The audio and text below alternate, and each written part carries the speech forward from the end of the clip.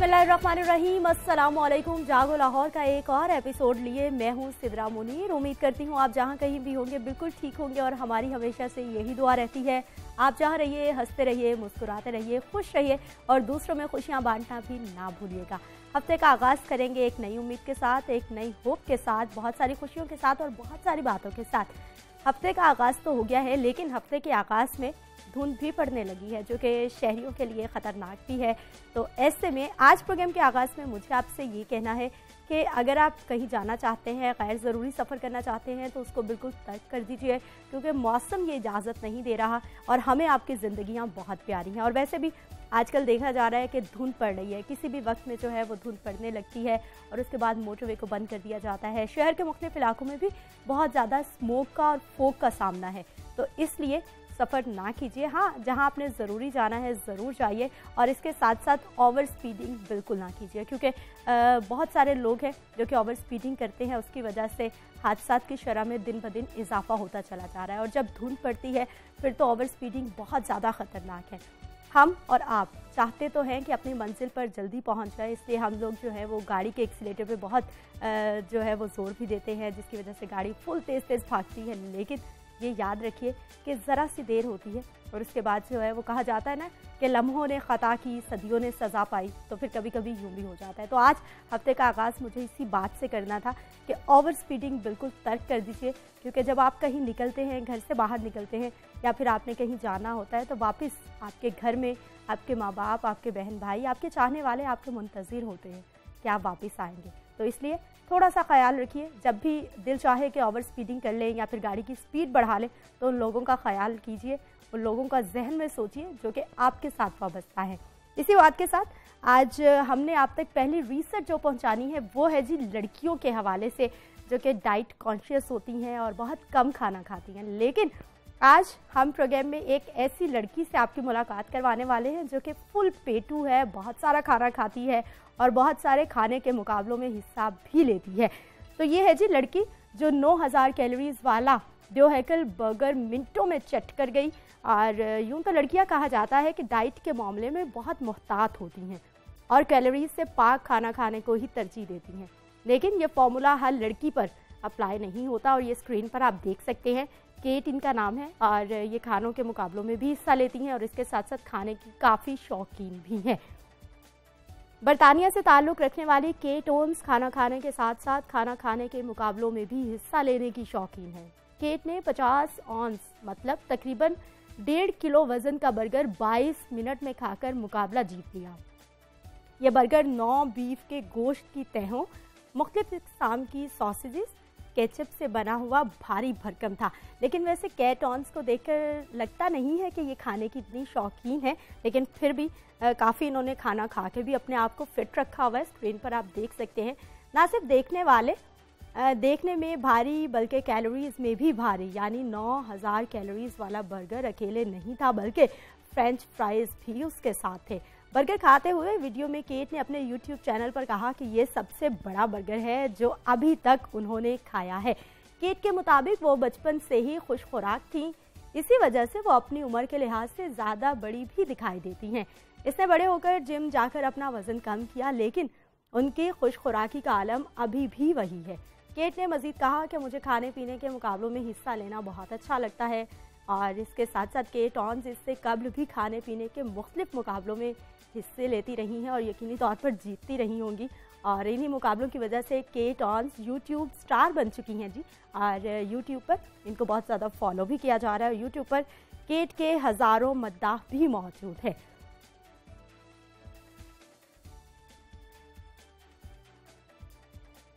Cat आप अपनी television screen पर देख सकते हैं और साथ साथ वो बड़ा सा बर्गर भी जो कि इन्होंने खाया है, जिसमें 9000 कैलोरीज थी। लेकिन खैर ये भी बात है कि अगर आप बहुत सारा खाना खाना चाहते हैं तो ज़रूर खाइए, लेकिन उसके साथ साथ अपनी सेहत का भी ख्याल रखिए, क्योंकि केट को देख के बिल्कुल भी ये नहीं लग रहा था कि वो इतना खाना खाती होंगी, लेकिन वो एक्सरसाइज करती होंगी जॉगिंग करती होंगी, जिसकी वजह से उन्होंने खाने के साथ साथ अपने आप को भी खूब फिट कर रखा है। अगला जो रिसर्च है, जो अगली मालूम है, जो मुझे आप तक पहुंचानी है, वो है जी जापान के एक अनोखे गाँव की, जहाँ पर आबादी की तादाद बहुत ज़्यादा कम है। तो जब वहाँ पर लोग मर जाते हैं तो उनके पुतले बनाकर गाँव में रख दिए जाते हैं। जापान में एक अनोखा इलाका ऐसा भी है, जहाँ लोग तेज़ी से कम होती हुई आबादी से परेशान हैं और अब हर मरने वाले से मिलता जुलता पुतला बनाकर एन उसी जगह रख दिया जाता है, जहाँ अमूमन वो ज़्यादा देखा जाता था। जनूबी जापान में नागोरो नामी गाँव में, न सिर्फ़ मरने वाले की याद में उसकी कद आदम गुड़िया और गुड्डा बनाया जाता है, बल्कि गाँव छोड़ने वालों की याद में भी पुतले बनाए जाते हैं। एक बरतानवी सयाह ने जब पहाड़ों में घिरे इस गाँव को देखा तो वो उनकी रसूम देखकर हैरान रह गया और उसने मुताद तस्वीर बनाई, जिसे सोशल मीडिया पे वायरल किया और उसकी वजह से पूरी दुनिया तक ये मालूम पहुँची, जो कि हम इस वक्त आप तक पहुँचा रहे हैं। जापान के इस गाँव में 150 से जायद पुतले देखे जा सकते हैं, जबकि सिर्फ़ 40 लोग यहाँ रहते हैं। यानी बहुत ही छोटा सा गाँव है, आबादी बहुत कम है, सिर्फ़ 40 लोग रहते हैं। और ये पुतले बस स्टॉप, गलियों, मकानों के बाहर, यहाँ तक के खेतों में भी देखे जा सकते हैं। और ये गाँव इतना छोटा है कि सिर्फ़ 10 मिनट की चहलकदमी से इसकी पूरी सैर की जा सकती है। बरतानवी सयाह फोटोग्राफर ने इसकी हैरत अंगेज तस्वीर बनाई है और सोशल मीडिया पर वायरल की हैं। बाज़ पुतले इस तरह से बनाए गए हैं कि उन पर हकीकी इंसानों का भी गुमा गुजरता है। तमाम पुतले यहाँ रहने वाले कम उम्र तरीन खातून सुकेमी अयानों ने बनाए हैं, जो साल 2000 में ओसाका से यहाँ अपने वालिद की देखभाल के लिए आई थी। आप देख सकते हैं जी, लाहौर न्यूज़ की स्क्रीन पर, और ये जापान का एक गाँव है, जहाँ पर इसका नाम है जी नोगोरो। क्योंकि यहाँ पर आबादी बहुत कम है, जब लोग मर जाते हैं या फिर गाँव छोड़ जाते हैं तो उनकी याद में, उनकी यादें हमेशा ताज़ा रखने के लिए उनके पुतले बना दिए जाते हैं। और वहाँ के रहने वालों को एक रौनक का एहसास भी होता है, क्योंकि गाँव में सिर्फ़ 40 लोग बसते हैं। तो इसलिए इस कम होती हुई आबादी की परेशानी में इन्होंने ये पुतले बनाना शुरू किए हैं, जबकि इसके बरस देखा जाए तो पाकिस्तान के जितने भी शहर हैं, जितने भी गाँव हैं, वहाँ पर आबादी बहुत तेज़ी से बढ़ रही है। तो बस ऐसे ही है, कुदरत का कानून के कहीं आबादी के बढ़ने की वजह से लोग परेशान हैं और कहीं आबादी के कम होने की वजह से। अगली रिसर्च जो मुझे आप तक पहुंचानी है, वो कुछ इस तरह से है कि अक्सर शिकायत की जाती है कि सर में दर्द है। आप कहीं बाहर जाते हैं, ऑफ़िस से आते हैं, इवन के छोटे छोटे बच्चे जो स्कूल से घर में आते हैं, वो भी शिकायत करते हैं कि अम्मा, सर में दर्द है। तो उनके लिए ये मालूम है जी सर दर्द एक नाकबले बर्दाश्त तकलीफ़ है और तकरीबन हर शख्स को अक्सर इसका सामना करना पड़ता है। सर में दर्द की तकलीफ़ बाज़ अवत हाथ पैरों को बेजान कर देती है और उसका शिकार शख्स कभी भी करने के काबिल नहीं रहता। यहाँ तक कि किसी दवा या कुदरती तरीके से भी सर दर्द नहीं ख़त्म होता। ताहम आज हम आपको इस तकलीफ़ दे तकलीफ़ से जान छुड़ाने का नहायत आसान तरीका बताने वाले हैं और वो ये है कि आपको एको प्रेशर का तरीका अपनाना होगा। एको प्रेशर भी एको पंक्चर ही की तरह चीनी तरीका इलाज है, जिसमें जिस्म के मखसूस हिस्सों पर मिसाज या दबाव के ज़रिए मुख्तफ तकलीफ़ का इलाज किया जा सकता है। इस तरीका इलाज में बामुश्किल 30 सेकेंड या एक मिनट का वक्त लगेगा। इस पर अमल करने के लिए सबसे आरामदेह हालत में बैठना या लेटना है। ये शर्त है जी अगर आप इस तरीका या इलाज को अपनाना चाहते हैं तो सबसे पहले आपको बैठना होगा या फिर बिल्कुल आरामदेह हालत में लेटना होगा। जहनी उलझनों से ख़ुद को निकालना होगा। और अब मैं आपको बताती हूँ कि ये आप अपने हाथों के किन किन मकाम पर मसाज कर सकते हैं, जिनकी मदद से आपका सर दर्द रफू चक्कर हो जाएगा। सबसे पहले ये आप अपनी टेलीविज़न स्क्रीन पर भी देख सकते हैं कि नाक के जड़ के ऊपर और दोनों भवों के दरमियान बिल्कुल दरमियानी जगह पर मिसाज आँखों को थकन और सरदर्द से निजात दिलाता है। और आप लाहौर न्यूज़ की स्क्रीन पर देख सकते हैं कि एक, ये फीमेल फेस है, उसके ऊपर बाकायदा तौर पर हाशिए लगाए गए हैं और नाक के बिल्कुल ऊपरली सतह पर और आईब्रोज के दरमियान में। यहाँ आपने इसको दबाना है और हल्का हल्का मसाज करना है। आँखों को बंद कर लीजिए, जैसा कि आप स्क्रीन पर भी देख सकते हैं। तो फिर थोड़ी देर में सरदर्द से आपको छुटकारा मिल जाएगा। और ये भी कहा गया है कि भवों के इन मकाम पर मिसाज आपको सरदर्द के साथ नज़ले से भी छुटकारा दिलाएँगे। इस मकाम पर एक मिनट तक दायरों की सूरत में मिसाज कीजिए। नज़ला ज़ुकाम आजकल बहुत आम होता जा रहा है। माएँ भी परेशान हैं, बच्चे भी परेशान हैं, सभी छोटे बड़े परेशान हैं।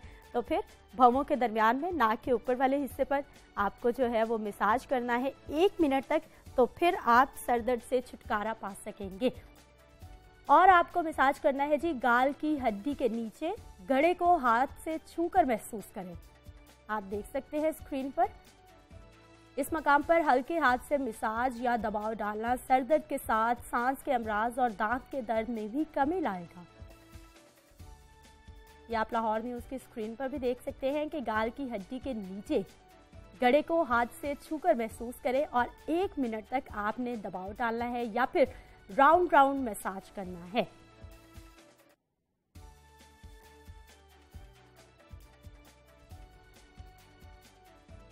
कान के ऊपर इस जगह पर मसाज भी आँखों की थकन और सर दर्द को कम करने में मदद देगा।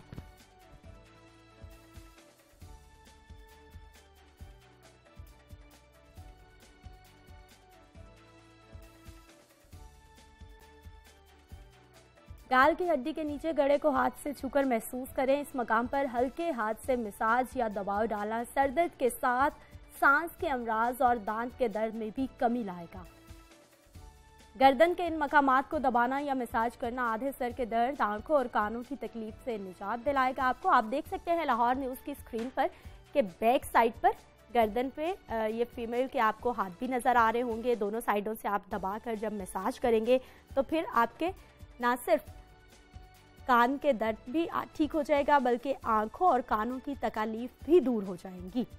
लाहौर न्यूज़ की स्क्रीन पर आप देख सकते हैं, और इस हफ़्ते का आगाज़ किया है। हमने आपको बहुत सारी टिप्स बताई हैं कि किस तरह से आप सर दर्द को दूर कर सकते हैं, अपने आँखों के दर्द को, कान के दर्द को, दांत के दर्द को, और जिसके मुख्तफ हिस्सों के जो दर्द होते हैं, बहुत आम होते जा रहे हैं, उनको आप दूर कर सकते हैं।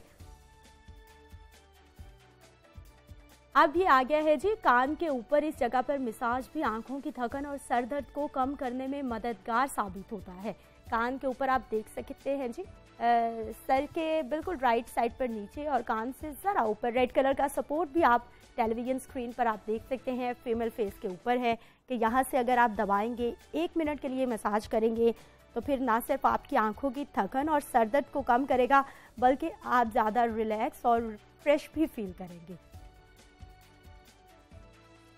ये लास्ट इन्फॉर्मेशन है जी लास्ट मालूम है हाथ के इस हिस्से पर जहाँ पर आप सपोर्ट दे सकते हैं अपने टेलीविज़न स्क्रीन पर के हाथ के इस मकाम पर मिसाज पीठ के दर्द, दांत के दर्द और सर दर्द में कमी है, जबकि गर्दन के तने हुए असाब को भी पुरसकून हालत में लाया जा सकता है। अगर हाथ के आप इस हिस्से पर मसाज करेंगे तो आप देख सकते हैं कि अंगूठे और फ़र्स्ट फिंगर पे जो है वो आप मसाज करेंगे। एक मिनट तक उससे जो है वो आप बहुत सारी तकालीफ से बच सकेंगे। आज हमने आपको बताया कि किस तरह से आपने अपने नोज़ के ऊपर, इसके साथ साथ कान के ऊपर, सर पे किस तरह से मसाज करना है, एक मिनट तक तो फिर आप बहुत सारी दर्दों से छुटकारा हासिल कर लेंगे। अभी जाएँगे हम ब्रेक पर, आपने कहीं नहीं जाना, हमारे साथ रहना है।